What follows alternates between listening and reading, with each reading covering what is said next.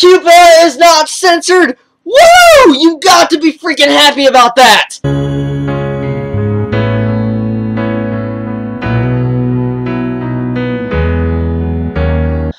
Read off this article just for a little bit for you guys can get the actual exact news. And also, I'm going to have the preview playing to the side of me for y'all can see the preview. Of course, it's not going to have any audio, but at the very least, you'll get to see what the animation is going to look like from Pupa. So anyways, I'm going to begin reading the article. Okay, the official site for the 2014 Winter TV anime Pupa announced today they will host a special screening event for the uncensored version of its first eight episodes at the AEON Cinema Ma Makuhari uh, Shinotishin Theater in Chiba Prefecture on December 21st, in advance of the start of its TV broadcasting on January 9, 2014.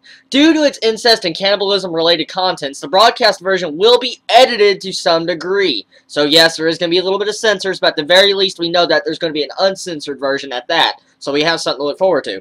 Okay, the event will have the original manga creator Sayaka Mogi, the director of the anime series Tomomi Michizuki, the voice cast uh, Nunabani Shimazaki, the main character, Hasegawa, who has the power of rapid cell regeneration and feeds his little sister with his own body.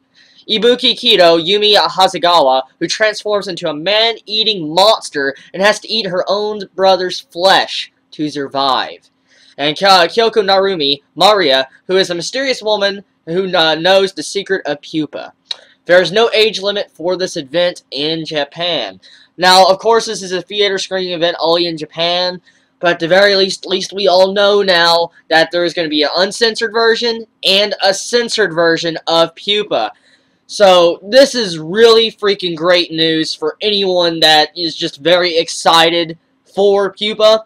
We're going to have to deal with the censored version, yes, at start, because, you know, I mean, hey, I want to see Pupa as like, quick as I can, but at the very least, later on, we can see the uncensored version. We can compare the two and see what the differences are between them. All in all, this is some great news for all of you that did not know about this, and this finally brings to light the censorship and uncensored versions.